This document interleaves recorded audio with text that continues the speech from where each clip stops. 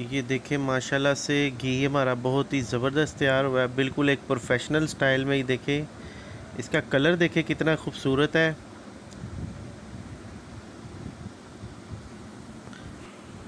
बिसमीम वालेकुम वीवर्स आज हम बना रहे हैं घर की मलाई से मक्खन, और मक्खन के बाद हम उसका देसी घी बनाएँगे। तो आए देखते हैं ये देसी घी कैसे बनता है। ये हमने मलाई ली है, जब हम दूध को बॉईल करते हैं तो बॉईल करके ठंडा करते हैं तो उसके ऊपर जो मलाई आती है, वो हमने जोड़ी हुई है। तकरीबन ये पंद्रह दिन की सेविंग है तो इसमें से हम मक्खन निकालेंगे तो इसको अब ये देखें मदानी के साथ इस तरह से घुमाना है और इसी तरह से इसको चलाते जाना है तकरीबन पंद्रह से बीस मिनट। और ये मलाई जो है, हमने इसको फ्रिज में रखा हुआ था तो फ्रिज से मैंने इसको निकाल दिया है। और तकरीबन 20 मिनट के लिए इसको बाहर रखा है नॉर्मल टम्परेचर पे। उसके बाद इसमें जो मदानी चला रहे हैं, मदानी इसी तरह चलाते जाएँगे और इसमें जो है मक्खन निकल आएगा और जब आपका या जब आप मदानी चलाते हैं तो ये चलाते चलाते अभी तो बिल्कुल इजीली चल रही है तो चलाते चलाते थोड़ी सी मुश्किल हो जाएगी चलाने में। तो समझ लें कि तब आपका ना जो मक्खन है ना, वो बाहर आना शुरू हो गया है अप, मलाई से। तो उसके बाद जो मदानी थोड़ी सी फिर भी चलाते जाना है और वाजह जो बिल्कुल एक, यानी कि सही शक्ल में ज़बरदस्त किस्म का मक्खन निकल आएगा। ये देखिए, इसी तरह से यहाँ पे थोड़ा सा अभी देखिए, मलाई हमारी थोड़ी सी टाइट हो गई है।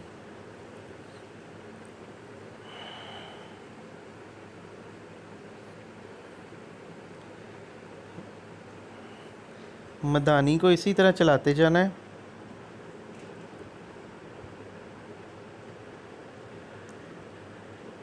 ये देखिए, मक्खन की जो छोटी छोटी टुकड़ियाँ हैं, वो नज़र आनी शुरू हो गई हैं इस पर दानेदार।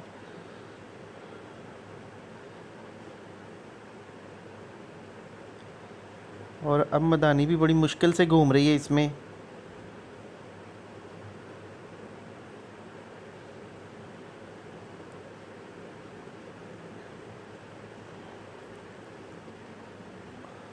इसी तरह घुमाते जाना है और जब ये मक्खन की फुटियाँ निकल आएँगी तो इसका जो बाद में ये घुमाते घुमाते मदानी से जो है ना, ये बिल्कुल नरम हो जाएँगी और नरम हो के वो एक, बिल्कुल एक लिक्विड पेस्ट की शक्ल इख्तियार कर लेगा। तो उसके बाद हम मक्खन को निकाल लेंगे। ये देखें ना, अब अच्छे से मक्खन निकल आया है।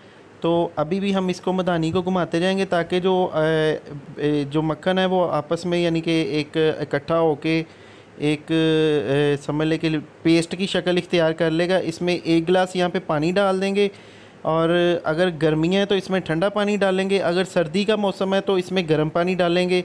इस बात का लाजमी ख्याल रखना है। तो ये देखें अब हम इसको मक्खन को जो है, अब मक्खन जो है पेस्ट की शक्ल में आ गया अब हम इसको निकाल लेते हैं हाथ के साथ, आसानी से निकल आएगा। देखें मदानी को थोड़ा सा साफ़ कर लेंगे।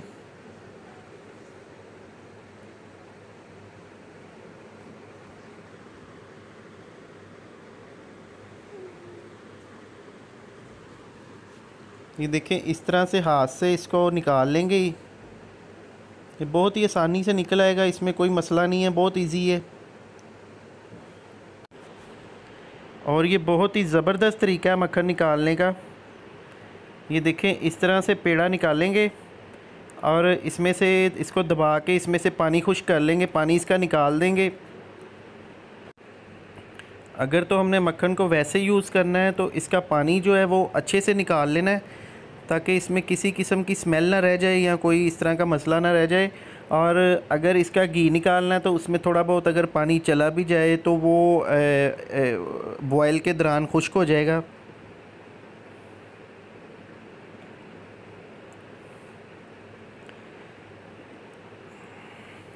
ये देखिए, इसमें थोड़ा सा जो पानी रह गया है, इसको भी निकाल देंगे। ये देखिए, माशाल्लाह से मक्खन बहुत ही खूबसूरत और बहुत ही ज़बरदस्त निकला है। और ये जो लस्सी है, लस्सी को हम ज़ाया कर देंगे और मक्खन को मैंने अब चूल्हे पे रख दिया है। अब इसको हम पकाएँगे।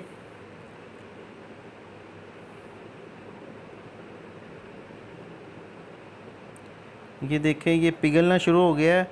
तो फ्लेम को जो है, फ्लेम का आपने ख्याल रखना है। फ्लेम बिल्कुल लो सा रखना है। फ्लेम लो रखेंगे तो हमारा जो घी है वो बहुत अच्छे से बनेगा। अगर तेज़ फ्लेम पे पकाएँगे तो ये जल जाता है और सही नहीं बनता। ये देखें, बिल्कुल जो मेल्ट हो गया हमारा मक्खन मेल्ट हो गया है।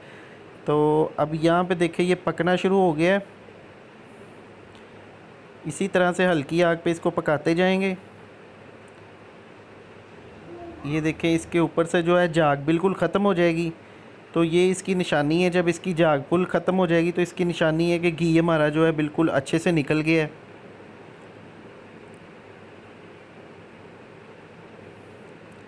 ये देखें, बिल्कुल इसकी जाग ख़त्म हो गई है। अभी साइडों पे थोड़ी थोड़ी जाग है, ये भी ख़त्म हो जाएगी। ये देखें, माशाल्लाह से घी की शक्ल देखें, कितनी प्यारी है और बहुत ही अच्छा हमारा खुशबूदार घी निकला है। और बहुत से दोस्तों की फरमाइश पे मैं ये वीडियो बना रहा हूँ। इसको किसी बर्तन में छान लेंगे, छाननी के साथ। ये देखिए, मैं इसको कांच के बाउल में निकाल रहा हूँ। ये देखिए, कितना खूबसूरत है। अब इसको ठंडा करके फ्रिज में रखेंगे और इसको जमा लेंगे।